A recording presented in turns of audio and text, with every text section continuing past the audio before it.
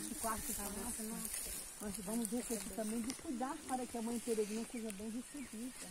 É o que nós já vimos conversado antes, esse cuidado. Como é que eu estou recebendo a mãe peregrina na minha casa? É com carinho, é com devoção, é com zelo. O missionário também ele precisa estar atento à peregrinação da imagem da mãe peregrina nas famílias. Há famílias que ficam mais de 24 horas com ela em casa. Aquelas também que resolvem fazer tridonovena com a imagem.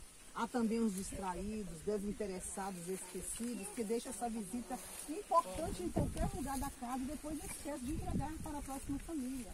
Às vezes até guarda dentro do guarda-roupa e viaja. Ou deixa lá jogado no cantinho e esquece. Então aí já começa Hum?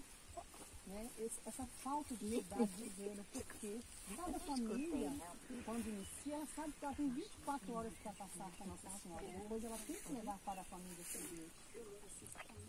É importante a gente explicar às pessoas, às famílias, cada vez mais estar atentos